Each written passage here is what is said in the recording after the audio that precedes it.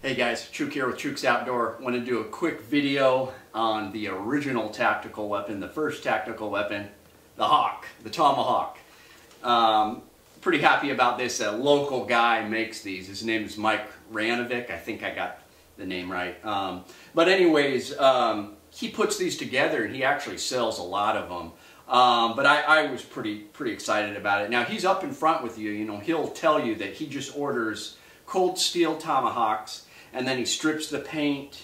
He refinishes the wood, um, but he usually does some some pretty cool stuff with the metal too, like cuts shapes into it. Now I didn't want him to because I wanted a native style. You know, Chuke is native. I wanted a native style tomahawk, um, and he also gives a pretty good sheen on it. It'll, it'll cut the hair off your arm.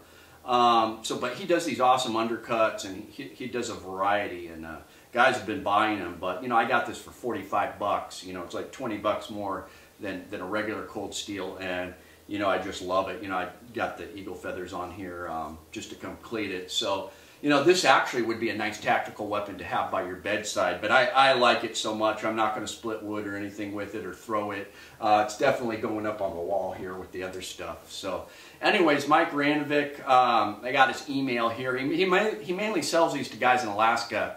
Um, so if you're in Alaska and Anchorage or anywhere around the state and you, you want a cool tomahawk, give them, hit them up. If you're out of state, you could try to hit them up. I, I, you know, maybe you could work something out with shipping, but he pretty much just sells these to Alaskans, and he, he seems to sell a fair amount of them. But people are pretty excited about it. All, all the guys in our gun forum buy these from him, and they all got them on their wall, and he's got some on his wall. But anyways, the first tactical weapon, tomahawk.